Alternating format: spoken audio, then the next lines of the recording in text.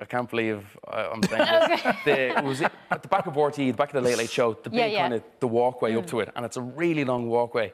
And I was there was a big group. There was a group of girls. Kind of they were on like it was like a school tour. I think they were on uh, an Irish dancing show or something. And mm. then they kept going. Oh my God, he's coming! Like there, there he is. So I was like, Oh. I thought it was only me. Ryan, like yeah, and they were yeah, like, oh yeah. my God, it's Ryan. I was And you're like, yeah.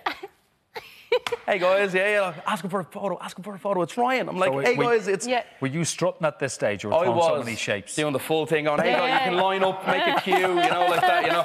And all of a sudden, they're like, ask him. I said, no, you don't need to ask. Come on in. And I looked. It was Ryan Tubridy standing behind me. Oh no! Yeah, it was Ryan Tubridy standing behind me, and I was just like, oh no. I ran as quick as I could, and then the usual pretending to be on your phone, Yeah, you know, yeah, walking yeah, by yeah, them, yeah, or yawning. Oh, All you need then is for it to ring. Oh yeah. yeah, yeah, yeah. Oh, no. I couldn't get by Yeah. them quick enough, and, you know, like that. So yeah,